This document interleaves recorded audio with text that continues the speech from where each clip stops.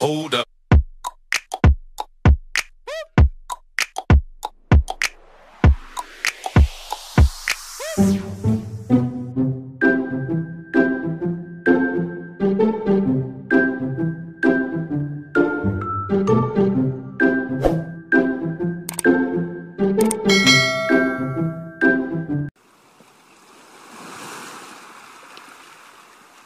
Hi guys! Welcome back to my channel. I'm Sweet Wazan ng Rampadorang Ina. Nandito kami ngayon guys sa Lapu-Lapu. Punta kami ng Pawikan Dive Center. Ayan, mag-scuba kami dive. First time in my life na mag-dive. Ayan, gagamit ko ng scuba diver. Ah, scuba diving. Eto guys, maalon siya ngayon. So wrong timing kasi nga hindi lalabas sa mga pawikan kapag ganitong high tide. Ayan. Kaya lilipat kami ng ibang lugar mamaya guys para habang kami ay nag-scuba, madami kaming makikita. Ayan.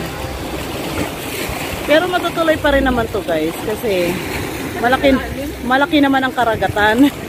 Kaya hindi pwedeng uwi si Rampadora na walang mangyari dito sa pag-scuba namin. Kailangan makapag-try talaga ng scuba dive. Stand by guys!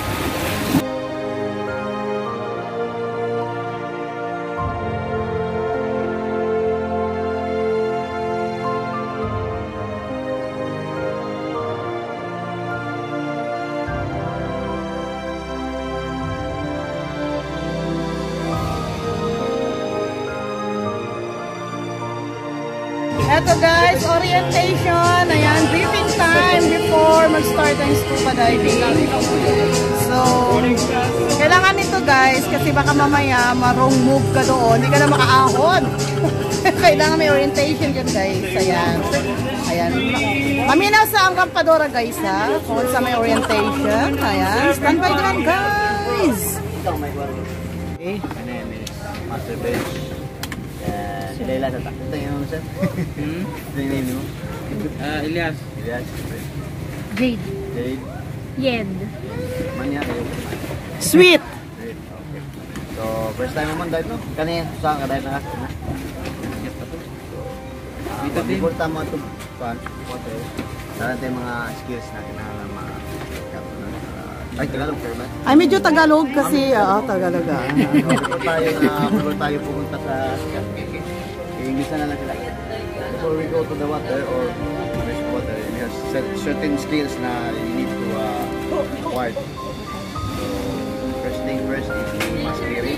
Wearing, then uh, uh, regulatory recovery, proper breathing, visualization, and most importantly, uh, signal, communication and uh, we have, we have a communication and that hindi lang tayo pwedeng magsalita doon, ah, hindi tayo mali. ay, ay, problema ako. Nalunod na ko. Ang signal. Signal lang. So, uh, Master Justin will uh, Conduct.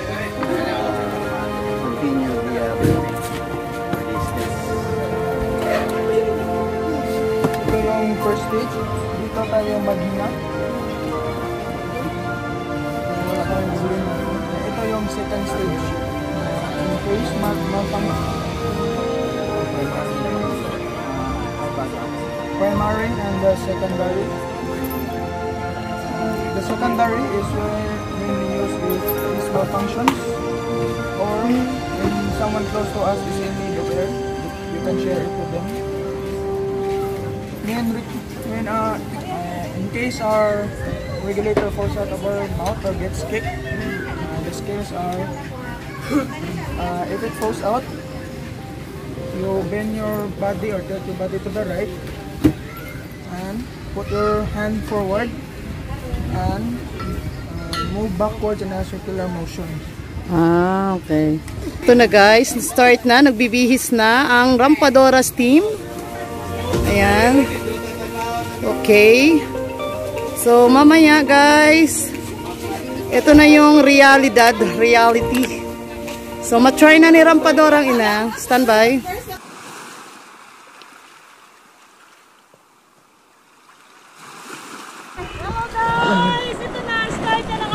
Adventure sa scuba diver. Ayan. Shoutout sa mga nag-a-assist dito guys. Ang babait nila. Ayan, Ano, dive uh, center. Ayan. Dito sa Lapu-Lapu City. Okay, go. A few moments later. Eto na guys, start na ng aming adventure sa Karagatan. Oh my God! mermaid guys. Ayan na yung aking anak. Go, go, Yed! Wow!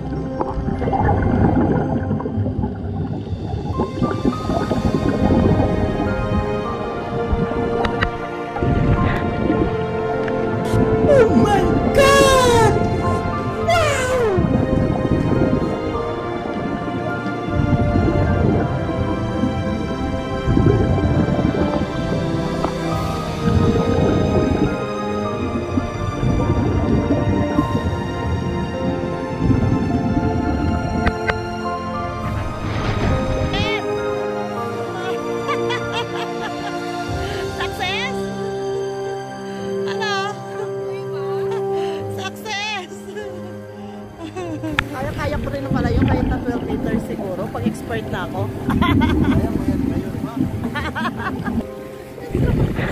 Gusto po Lord, di ko kaya. Kanina guys kami hanggang 5 meters lang yun. So sa mga pagbuhan, start muna sa 5 meters ang lalim. Pero malalim na yun para sa akin. Pero nakayanan naman.